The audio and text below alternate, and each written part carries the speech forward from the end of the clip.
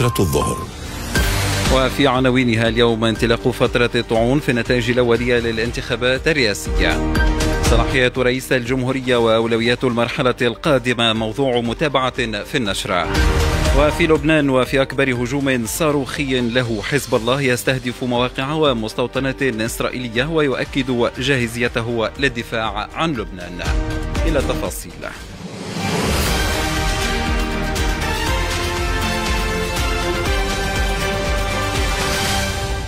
مستمعينا الكرام أهلا بكم إلى نشره الظهيرة من الإذاعة الوطنية.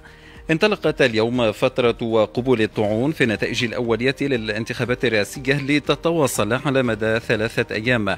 الناطق الرسمي باسم الهيئة العليا المستقلة للانتخابات محمد تليلي المصري. بعد ما تم الإعلان على النتائج الأولية للانتخابات الرئاسية لسنة 2024 بتاريخ 7 أكتوبر وبعد ما تم تعليق قرارات الهيئة بمقرات الهيئة كما يقتضي القانون الانتخابي بطبيعة الحال باش تفتح الأجال نتاع الطعون بداية من اليوم لمدة ثلاث أيام. بطبيعة الحال إذا وردت طعون خلال هذه المدة القانونية المحددة بثلاث أيام لأنه من حق المترشحين القيام بالطعن لدى القضاء العدلي يعني محكمة الاستئناف ومحكمة التعقيب. بطبيعة الحال ننتظر المآل نتاع الطعون هذه لمدة تقريبا ثلاث أسابيع إذا كان باش تكون بطوريها الابتدائي والاستئنافي. وبطبيعه الحال إذا لم ترد طعون خلال المدة المحددة نتاع ثلاث أيام مباشرة هيئة الانتخابات تصدر وتصادق على النتائج النهائية بصفه رسمية وقرار نتاع النتائج النهائية آه، بعد أمضائه بذات الحال يقع إرساله إلى آه، مجلس نواب الشعب وكذلك إلى الغرفة الثانية المجلس الوطني للجهات والأقاليم لأنه يقتضي القانون وأنه رئيس الجمهورية يؤدي اليمين الدستورية أمام الغرفتين.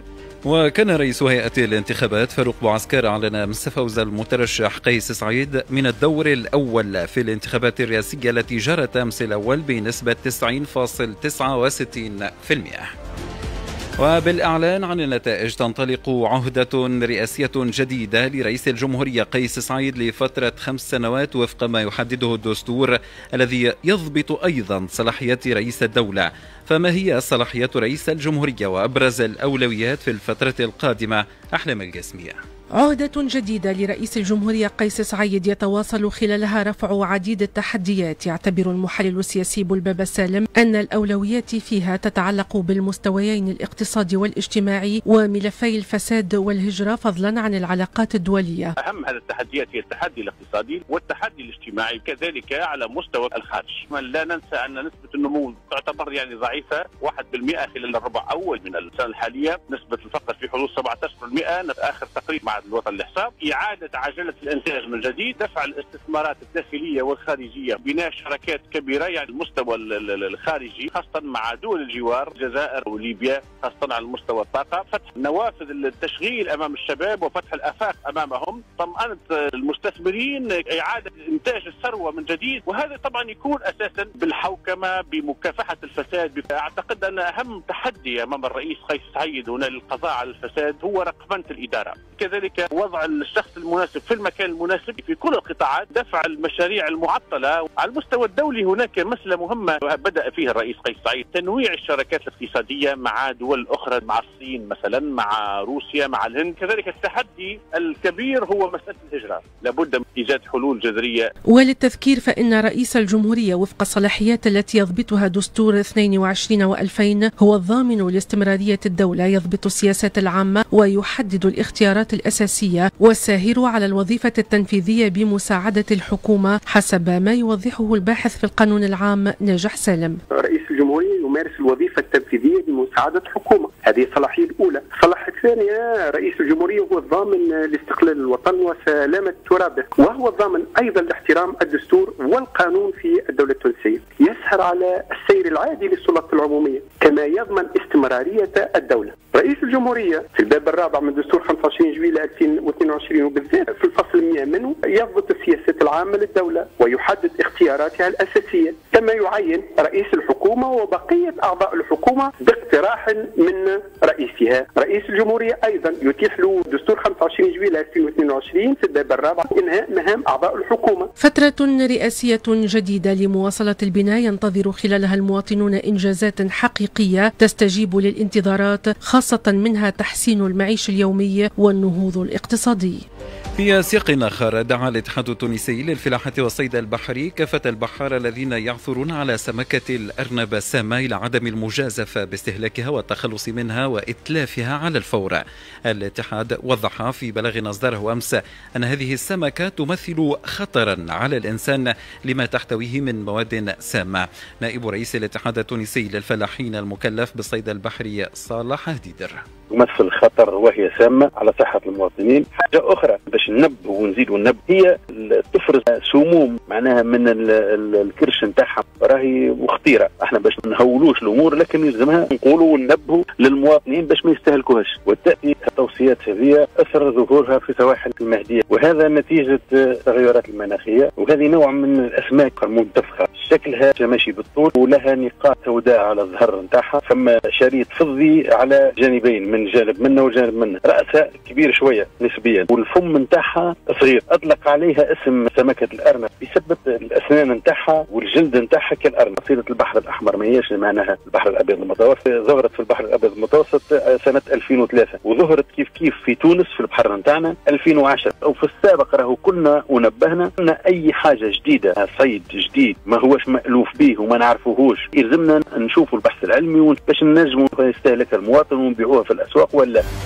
اعتماد نظام الحصة الواحدة في التدريس نقطة من النقاط التي تراهن عليها وزارة التربية في التعليم وقد بدأت بعض المندوبيات التربوية في بعض الجهات اعتمادها في انتظار تعميمها في مختلف المؤسسات التربوية.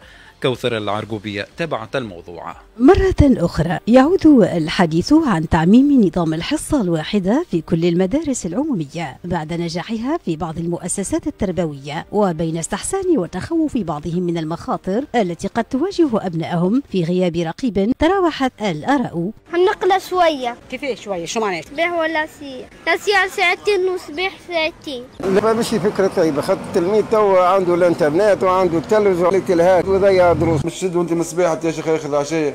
كيف ياخذ كيف كيف يمشي يروح خير من ناحية أنه الأولياء الكل يتنظموا ما يبداوش ما يقاوك المشكل نتاعك اللي باش يخلي صغيري العشية والكل. ما لازم نخموا بعد الوقت هذاك الفضاء العشية الكل. توقيت الموحد نشجعوا عليه علاش؟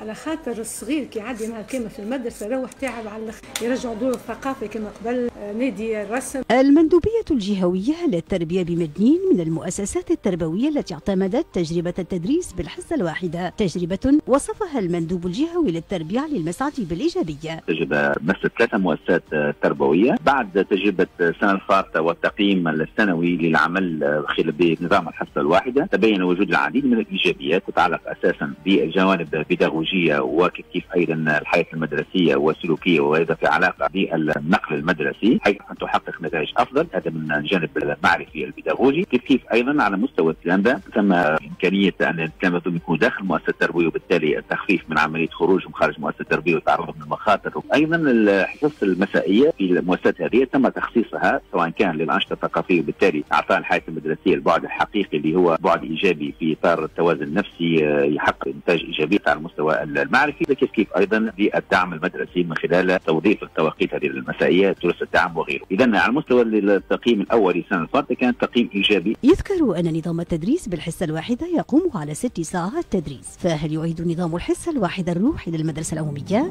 نشرة الأخبار متواصلة على موجات الإذاعة الوطنية التونسية وعلى موقعها راديو ناسيونال بوانتين